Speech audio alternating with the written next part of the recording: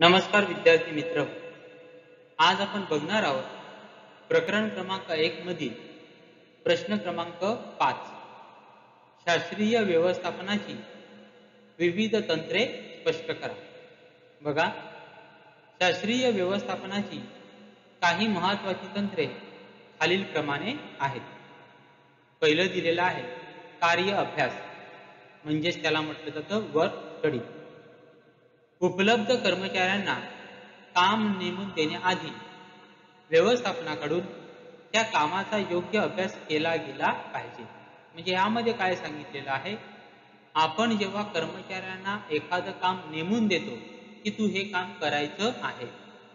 ते काम नेमून देण्याआधी जे काम आपण त्यांना सांगणार आहोत त्या कामाचा योग्य प्रमाणात अभ्यास केलेला असला पाहिजे. वैज्ञानिकदृष्ट्या त्या कामाचा अभ्यास केला गेला पाहिजे. आणि त्या कामाचा अभ्यास केल्यानंतर ते काम त्या कामगाराला दिलं गेलं पाहिजे. कार्य अभ्यासामध्ये विविध क्रिया व कार्य यांचा संघटित पद्धतशीर आणि टीकात्मक मूल्यांकनाच्या मोजमापाचा समावेश होतो. मग आता हे कामाचा अभ्यास करायचा म्हणजे काय करायचं? तर ते काम करत असताना कोणकोणत्या क्रिया कराव्या लागतात? किती वेळ लागतो? ते काम कोणत्या पद्धतीने केलं जातं? ते काम करत असताना कशा प्रकारे थकवा लागू शकतो? या सर्व गोष्टींचा म्हणजे कामाशी निगडीत असलेले जेवढे काही पैलू आहेत त्या सर्व पैलूंचा सर्व गोष्टींचा वैज्ञानिकदृष्ट्या अभ्यास केला गेला पाहिजे. कार्य अभ्यासामुळे वेळ अभ्यास गती अभ्यास पद्धत अभ्यास आणि थकवा अभ्यास या सर्व तंत्रांचा समावेश होतो. आणि या कार्य अभ्यासामध्ये काय करायचं आहे? जसं आधी सांगितलं की त्या कामाशी निगडीत असलेल्या सर्व पैलूंचा अभ्यास करायचा. म्हणजे कसला अभ्यास करायचा आहे? ते काम करण्यासाठी किती वेळ लागू शकतो? त्याचा अभ्यास करायचा आहे. गती अभ्यास म्हणजे ते काम आपण किती जलद गतीने करू शकतो? किती गतीने केलं गेलं पाहिजे? म्हणजे ते चांगल्या प्रकारे होईल त्याचा अभ्यास करायचा आहे. पद्धत अभ्यास एकच काम करण्याच्या अनेक प्रकारच्या पद्धती असू शकतात. म्हणजे कोणत्या पद्धतीने ते काम केलं तर ते अधिक चांगल्या प्रकारे होईल आणि वेळेमध्ये होईल. थकवा अभ्यास ते काम करत असताना किती थकवा लागू शकतो? त्या थकव्याचा परिणाम कामगारांवर कशा प्रकारे होतो? या सर्व गोष्टीचा अभ्यास केला गेला पाहिजे. ह्या आता ह्या सर्व गोष्टीचा अभ्यास का केला गेला पाहिजे? जेव्हा व्यवस्थापक या सर्व गोष्टीचा अभ्यास करतो त्यातून त्याला जी माहिती मिळते त्या माहितीमुळे कामगारांना तो योग्य प्रकारे मार्गदर्शन करू शकतो. तो कामगारांना सांगू शकतो की तुम्ही हे काम कशा प्रकारे केलं पाहिजे आणि कशा प्रकारे करता कामा नये. हे तो कामगारांना व्यवस्थितपणे सांगू शकतो. म्हणजे जर व्यवस्थापक म्हणून आपल्याला कामगारांना मार्गदर्शन करायचं असेल तर ते मार्गदर्शन करण्याआधी आपल्याला ज्या कामाबाबत मार्गदर्शन करायचं आहे त्या कामाचा योग्य अभ्यास आपण केला पाहिजे. अभ्यास नसताना आपण कोणत्याही प्रकारे मार्गदर्शन करू शकत नाही. आणि म्हणून कार्य अभ्यास या ठिकाणी महत्त्वाचा आहे. आता कार्य अभ्यासामध्ये काय सांगितलेलं आहे? वेळेचा अभ्यास गती अभ्यास पद्धत अभ्यास थकवा अभ्यास.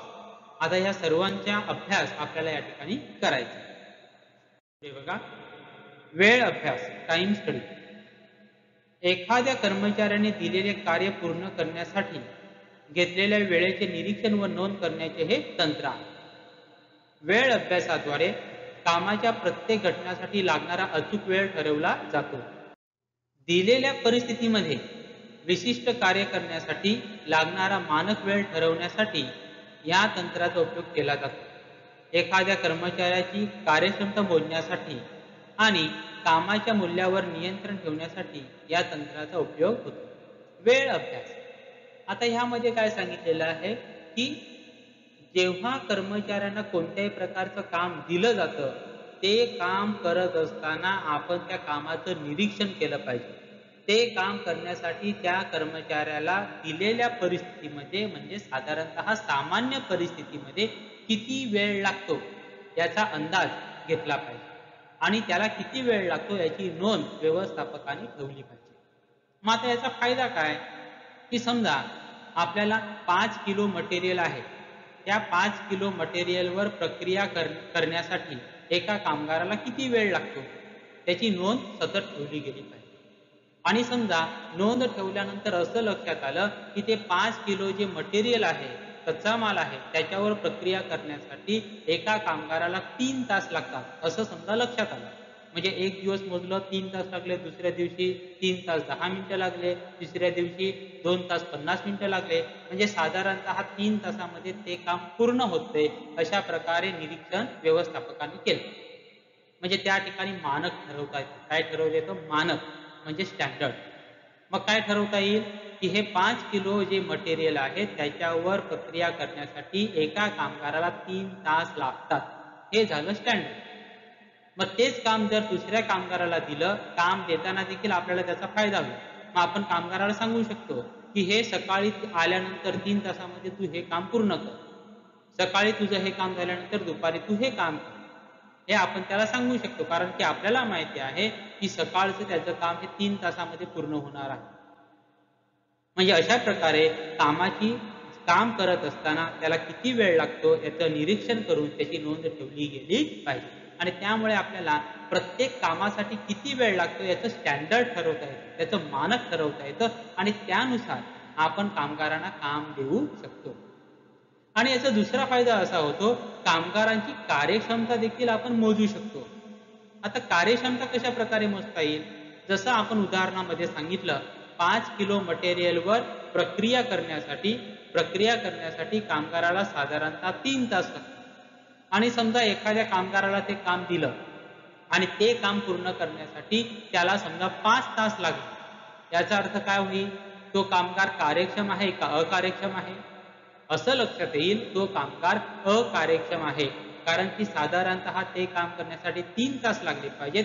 तेच काम करण्यासाठी त्या कामगाराने पाच तास घेतले. म्हणजे तो कामगार चांगल्या प्रकारे काम करत नाही. मग अशा प्रकारे कामगारांना कामगारांची जी कार्यक्षमता आहे ती देखील आपण मोजू शकतो. आणि या माध्यमातून कामगारांवर आपण नियंत्रण ठेवू शकतो. त्याच्या कामावर नियंत्रण ठेवू शकतो. कारण की कामगारांच्या कामगारांवर एक थोडासा दबाव राहील मानसिक दबाव राहील की नाही. व्यवस्थापकाला माहिती आहे की हे काम तीन तासामध्ये पूर्ण होते. म्हणजे कामगार देखील ते काम तीन तासामध्ये पूर्ण करण्याचा काय करणार आहे? प्रयत्न करणार. आणि म्हणून टेलर म्हणतात की वेळेचा अभ्यास हा देखील झाला पाहिजे. पुढे बघा. दुसरा आहे पद्धत अभ्यास म्हणजेच मेथड स्टडी. कार्य पूर्ण करण्याच्या नेहमीच विविध पद्धती अस्तित्वात असतात. आपल्याला माहिती आहे कोणत्याही प्रकारचं काम जर पूर्ण करायचं असेल तर ते काम पूर्ण करण्यासाठी विविध प्रकारच्या पद्धती अस्तित्वात असतात. चांगली गुणवत्ता टिकवणे आणि खर्च मर्यादित ठेवण्यासाठी विशिष्ट काम करण्याची उत्तम पद्धत शोधून काढणे व्यवस्थापकाचे अतिशय महत्त्वाचे परंतु तेवढेच आव्हानात्मक कार्य आहे. म्हणजे आता ज्या विविध पद्धती कामाच्या असू शकतात त्या पद्धतीमधून सर्वात उत्तम पद्धत कोणती आहे? मग कोणत्या दृष्टीने की त्या पद्धतीचा जर वापर केला तर आपल्याला वेळ देखील कमी लागेल आपल्याला खर्च देखील कमी लागेल आणि कामाची गुणवत्ता देखील चांगली राहील. या तिन्ही गोष्टी असल्या पाहिजे. असं होता कामा नये की फक्त खर्च कमी लागेल म्हणून एखादी पद्धत निवडणे योग्य नाही. वेळ देखील कमी लागला पाहिजे खर्च देखील कमी लागला पाहिजे आणि कामाची गुणवत्ता देखील चांगली राखली गेली पाहिजे. आणि त्यानुसार पद्धतीचा पद्धतीचा स्वीकार केला गेला पाहिजे. मग अशा प्रकारची पद्धत शोधणे हे कोणाचं काम असणार आहे? व्यवस्थापकाचं काम असणार आहे. आणि हे काम जेवढं महत्वाचं आहे तेवढंच आव्हानात्मक देखील आहे. वेळ व कच्च्या मालाचा अपव्यय कमी करण्यासाठी तसेच पूर्वनिर्धारित उद्दिष्टानुसार सर्व संसाधनाची उपयुक्तता वाढवण्यासाठी या तंत्राचा मदत होते. कच्च्या मालाची हाताळणी वाहतूक तपासणी आणि साठवण इत्यादी कामांची योग्य पद्धत ठरवण्यासाठी या तंत्राचा उपयोग होतो. मग आपल्याकडे असलेला कच्चा माल मग तो कशा प्रकारे साठवून ठेवायचा? त्याची तपासणी कशा प्रकारे करायची? त्याची वाहतूक कशा प्रकारे करायची? त्याची हाताळणी कशा प्रकारे करायची? आपल्याकडे जी काही साधन संपत्ती आहे त्याची हाताळणी कशा प्रकारे करायची? त्याची देखरेख कशा प्रकारे ठेवायची? ह्या सर्वांच्या पद्धती ठरवल्या गेल्या पाहिजेत. या सर्वांसाठी योग्य ती पद्धत कोणती आहे? ती निवडली गेली पाहिजे. आणि चांगल्यात चांगल्या पद्धतीचा स्वीकार या ठिकाणी केला गेला पाहिजे. म्हणजे पद्धत अभ्यासामध्ये काय सांगितलेलं आहे? की कोणतंही काम पूर्ण करण्यासाठी विविध प्रकारच्या पद्धती आपल्याकडे अवलंब आपल्याकडे उपलब्ध असतात. आणि त्या पद्धतीपैकी जी चांगली पद्धत असेल त्याचा स्वीकार केला पाहिजे. आता चांगली म्हणजे कोणत्या दृष्टीने चांगले? त्या पद्धतीमध्ये काम करण्यासाठी वेळ कमी लागला पाहिजे. त्या पद्धतीमध्ये कामाचा खर्च कमी आला पाहिजे. आणि सर्वात महत्वाचं म्हणजे त्या पद्धतीचा वापर केल्यानंतर कामाचा दर्जा देखील चांगला राहिला पाहिजे. या सर्व गोष्टी राखून कोणती पद्धत चांगली आहे त्या पद्धतीचा अवलंब काम करत असताना केला पाहिजे. तिसरा आहे हालचाल अभ्यास मोशन स्टडी आवश्यक गतीचा अभ्यास म्हणजेच एखादे विशिष्ट कार्य पूर्ण करताना कर्मचाऱ्यांच्या तसेच यंत्रांच्या होणाऱ्या हालचालींचा अभ्यास अतिशय महत्त्वाचा आहे. म्हणजे कोणतंही काम करत असताना कर्मचाऱ्यांच्या हालचाली होत असतात हातांच्या हालचाली होत असतात पायांच्या हालचाली होत असतात किंवा जी यंत्रसामुग्री आहे त्यांच्या देखील हालचाली होत असतात. मग टेलरच्या मध्ये काय आहे? की काम करत असताना कर्मचारी असतील किंवा यंत्र असतील यांची जी हालचाल होते त्याचा देखील अभ्यास केला गेला पाहिजे. त्यांच्या हालचालींची जी गती आहे त्याचा देखील अभ्यास केला गेला पाहिजे. त्यामुळे एखादे विशिष्ट काम करण्याची सर्वोत्कृष्ट पद्धत शोधून काढण्यास तसेच अनावश्यक हालचाली कमी करण्यास मदत होते. मग याचा फायदा काय? की काही कामामध्ये कर्मचाऱ्यातर्फे ज्या हालचाली केल्या जातात त्यापैकी काही ज्या हालचाली असतात त्या निरर्थक असू शकतात. किंवा त्या हालचाली नाही केल्या तरी देखील ते काम पूर्ण होऊ शकतं. मग अशा हालचाली टाळण्याचा प्रयत्न केला पाहिजे. मग आता हे हालचाली टाळून काय साध्य होणार आहे? तर साधी गोष्ट आहे जेव्हा आपण हालचाली जास्त करतो तेव्हा आपल्याला थकवा देखील जास्त लागतो म्हणून कामामध्ये आपण जेवढ्या हालचाली कमी करणार तेवढा आपल्याला थकवा कमी लागणार आणि थकवा कमी लागला याचाच अर्थ आपण जास्त काळ काम करू शकतो. कर्मचाऱ्यांची कार्यक्षमता वाढवण्यासाठी सुद्धा याचा उपयोग होतो. कार्याचा प्रवाह सहज व विना अडथळा ठेवण्यासाठी त्या कार्यातील काही घटक काढून टाकणे किंवा त्यांचा क्रम बदलणे गरजेचे आहे का हे माहीत होण्यासाठी या तंत्राचा उपयोग केला जातो. मग ह्या तंत्राचा वापर आणखी कशासाठी होऊ शकतो? की एखादे काम करत असताना ज्या काही क्रिया केल्या जातात ज्या काही हालचाली केल्या जातात त्या क्रियांचा क्रम बदलणे आवश्यक आहे का? म्हणजे जी क्रिया आपण दुसऱ्या क्रमांकावर करतो जर ती क्रिया आपण चौथ्या क्रमांकावर केली आणि चौथ्या क्रमांकाची क्रिया दुसऱ्या क्रमांकावर केली तर कामामध्ये काय फरक पडेल? या सर्व गोष्टीचा देखील अभ्यास केला गेला पाहिजे. म्हणजे हालचाल अभ्यासेमध्ये कर्मचाऱ्यांतर्फे यंत्रामध्ये ज्या काही हालचाली होतात त्या हालचालींचा अभ्यास केला जातो आणि त्याद्वारे कोणत्या हालचाली अनावश्यक आहेत कोणत्या हालचाली गरजेच्या आहेत हे बघितलं जातं. आणि अनावश्यक हालचाली जर आपण टाळू शकलो तर त्यामुळे कर्मचाऱ्यांची कार्यक्षमता देखील वाढत असते. पुढे आहे थकवा अभ्यास. साधारणपणे कामाचे पुरेशा विश्रांतीशिवाय जादा तास नेमून दिलेले काम पूर्ण करण्याचा ताण कामकाजाची अवजड साधने आणि कामाच्या ठिकाणची खराब परिस्थिती या सर्वांचा परिणाम शारीरिक व मानसिक ताण म्हणजेच थकवा म्हणजे कोणत्याही प्रकारे काम करत असताना माणसाला जो काही शारीरिक तत्वा थकवा येतो किंवा मानसिक ताण येतो किंवा शारीरिक ताण येतो त्यालाच आपण थकवा असे म्हणतो. कर्मचाऱ्यांच्या आरोग्यावर व कार्यक्षमतेवर याचा विपरीत परिणाम होतो. कर्मचाऱ्यांची कार्यक्षमता टिकवून ठेवण्यासाठी थकवा कमी करण्याच्या विविध पद्धतीचा अभ्यास अतिशय महत्त्वाचा आहे. आता थकवा अभ्यास का गरजेचा आहे? बघा जेव्हा कर्मचारी काम करत असतो साधारणतः कसं वाटत असतं की जो कर्मचारी शारीरिक काम करत असतो त्यालाच थकवा येतो? असं मात्र अजिबात नसतं. काही कर्मचारी लिखनाचं काम करत असतं. म्हणजे क्लर्क असेल तो त्या ठिकाणी काम करत असेल. आपल्याला वाटतं की चला क्लर्क आहे म्हणजे फक्त खुर्चीमध्ये बसून लिहिण्याचं काम करतो. त्याला कसला थकवा येतो? तसं नसतं. काम हे काम असतं. आणि काम करत असताना मानसिक थकवा येत असतो. आता जे क्लरिकल काम करत असतात त्यांना मानसिक थकवा जास्त येतो. आणि जे शारीरिक काम करत असतात म्हणजे गोणी उचलणे किंवा एका ठिकाणी असलेला माल दुसऱ्या ठिकाणी पोहोचवणे ही जी कामं करतात त्या ठिकाणी शारीरिक थकवा जास्त येतो. पण दोन्हीही थकवा दोन्ही प्रकारचा जो थकवा आहे त्यामुळे माणसाची कार्यक्षमता कमी होते.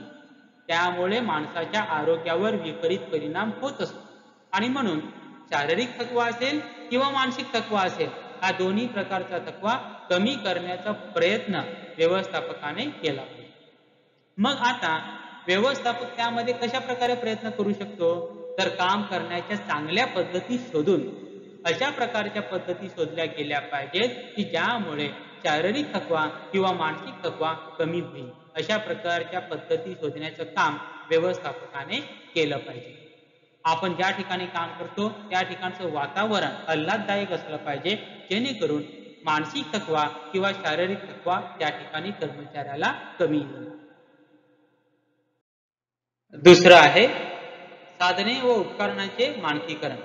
मानकीकरण म्हणजे स्टँडर्डायझेशन कामाच्या ठिकाणी केलेल्या प्रयोगांच्या परिणामांच्या आधारे टेलर यांनी साधने आणि उपकरणांच्या मानकीकरणास समर्थन दिले आहे.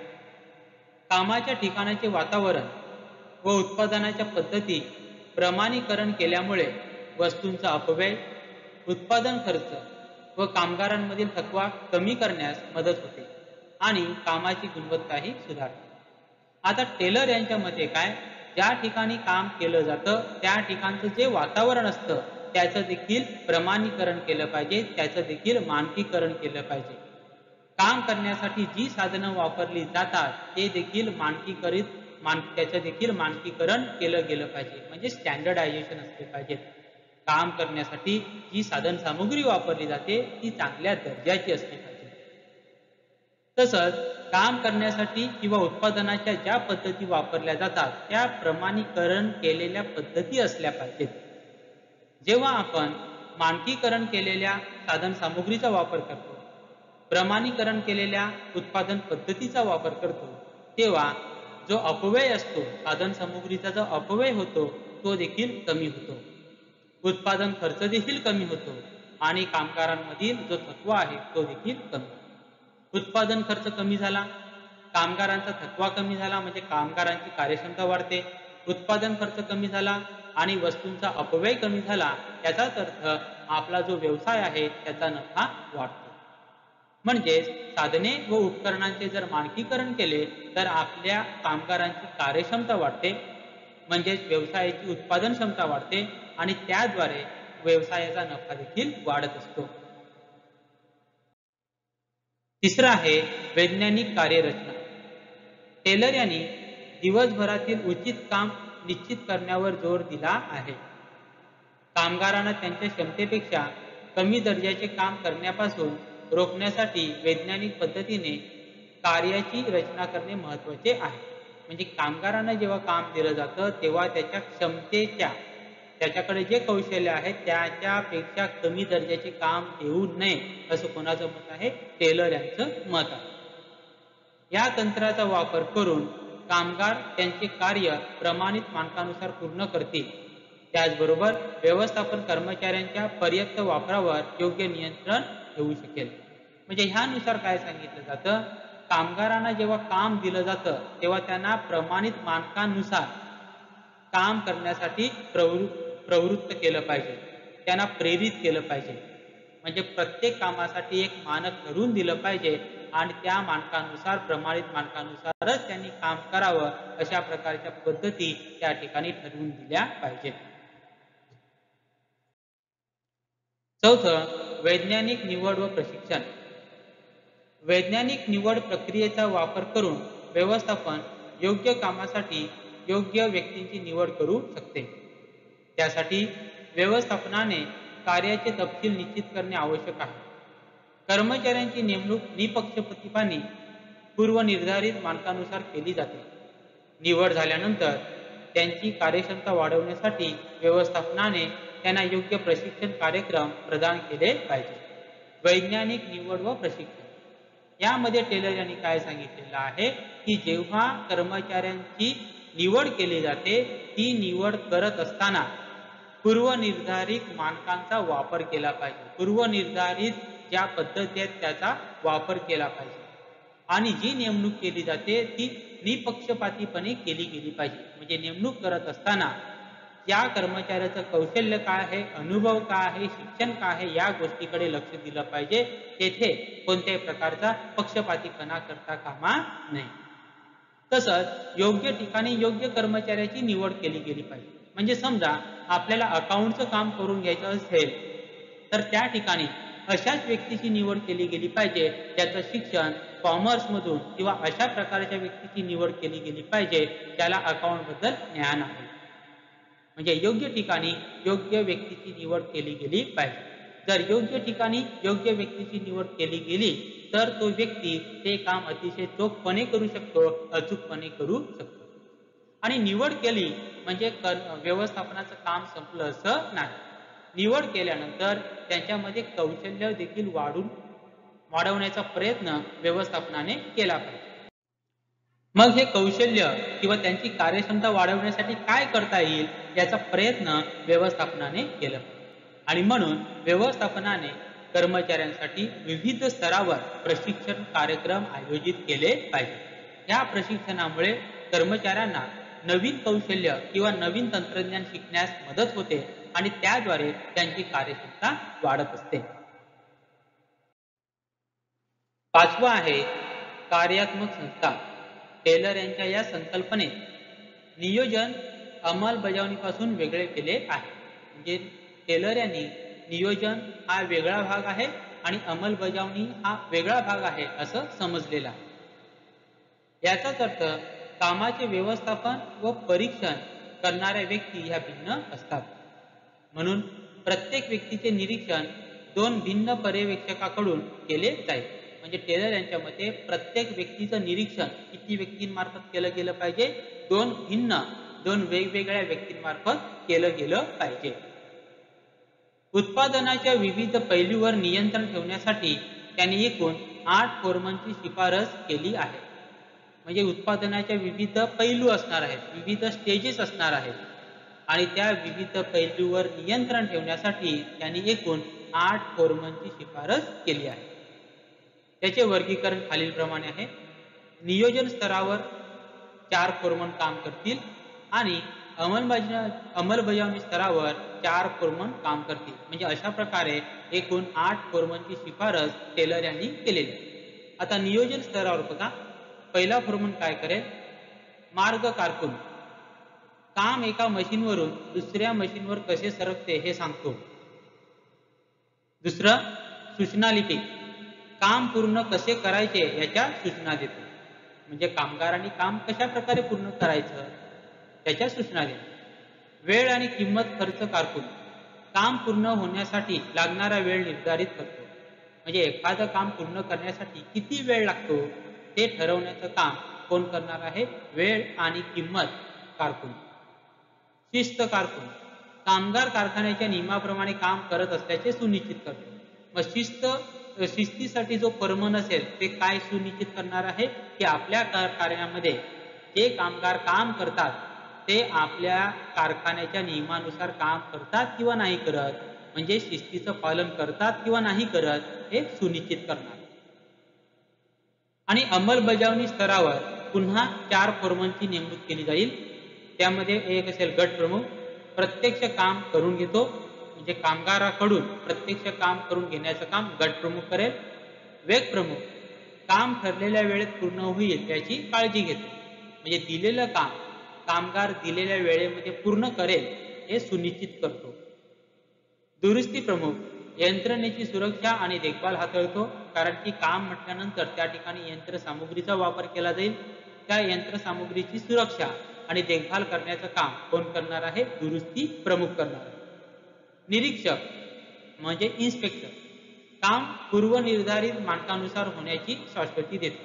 म्हणजे आपले जे पूर्वनिर्धारित मानक आहेत मानक म्हणजे स्टँडर्ड आहेत त्यानुसार कामगाराकडून काम केलं जात आहे किंवा केलं जात नाही. हे बघण्याचं काम कोण करणार आहे? निरीक्षक करणार. टेलरच्या मते सर्व कार्यांचे नियोजन व अंमलबजावणी योग्य विभागणी केल्यामुळे व्यवस्थापन निश्चितच कर्मचाऱ्यांकडून आवश्यक कामगिरी साध्य करू शकते. आणि अशा प्रकारे जर आपण कामाचं विभाजन केलं एकूण आठ फोरमनची जर नेमणूक केली आणि त्या आठ फोरमनला वेगवेगळ्या कामाचे वेगवेगळ्या प्रकारे आपण काम नेमून दिलं तर आपल्या व्यवसायाचं जे काय काम आहे ते आपण व्यवस्थितपणे पूर्ण करू शकतो. सहावं दिलेलं आहे विभेदात्मक दर वेतन योजना. साधारण कामगार ही प्रमाणित उत्पन्न मिळवण्यासाठी प्रेरित होईल. अशा पद्धतीने मोबदला ठरवला गेला पाहिजे. यासाठी टेलरने विभेदात्मक दर वेतन योजना सुचवली आहे. या योजनेनुसार प्रमाणित मानकापेक्षा जास्त काम पूर्ण करणाऱ्या कामगारांना उच्च दराचा प्रस्ताव दिला जातो. या उलट जर एखाद्या कामगार निर्धारित मानकापेक्षा कमी काम करत असेल तर अशा कामगाराला कमी दराने वेतन दिले जाते. या तंत्रामुळे कामगारांना उच्च प्रतीची कामगार कामगारी पूर्ण करण्यासाठी व अधिक वेतन मिळण्यासाठी प्रेरणा मिळते. विभेदात्मक दर वेतन योजना म्हणजे ह्या योजनेनुसार कामगारांना वेगवेगळ्या प्रकारचा दर दिला जातो. म्हणजे कशा प्रकारे? एक उदाहरण की समजा कामगारांना असं सांगितलं जाईल की आठ तासामध्ये जर तुम्ही दहा किलोचं उत्पादन केलं जो कामगार आठ तासामध्ये दहा किलोचं उत्पादन करेल त्याला त्या दिवसासाठी तीनशे रुपये इतका पगार दिला जाईल. बरोबर? जो कामगार आठ तासामध्ये दहा किलोपेक्षा कमी प्रोडक्शन करेल कमी उत्पादन करेल त्याला अडीचशे रुपये इतका दर दिला जाईल. आणि जो कामगार तीनशे दहा आठ तासामध्ये दहा किलोपेक्षा जास्त उत्पादन करेल त्याला साडेतीनशे इतका दर दिला जाईल. म्हणजे बघा त्या ठिकाणी जो दर दिला जाईल तो कामानुसार दिला जाणार जो कामगार जास्त काम करेल त्याला जास्त दर दिला मिळणार आहे आणि जो कामगार कमी काम करेल त्याला कमी दर मिळणार मग या ठिकाणी काय होतं? ज्या कामगाराला कमी वेतन आहे तो देखील जास्त काम करण्याचा प्रयत्न करतो जेणेकरून त्याला वेतन जास्त मिळणार आहे त्याला पगार जास्त मिळणार तर अशा प्रकारे विभेदात्मक दर योजना देखील टेलर यांनी सुचवलेली आहे. आता या योजनेमुळे कामगारांना जास्त काम करण्याची प्रेरणा मिळते. कारण की प्रत्येक कामगाराला वाटत असतं की मला जो पगार आहे की मला जो दर आहे वेतन आहे ते जास्त मिळालं पाहिजे. आणि मग जास्त मिळवायचं असेल मग काय करावं लागणार आहे? जास्त काम करावं लागणार.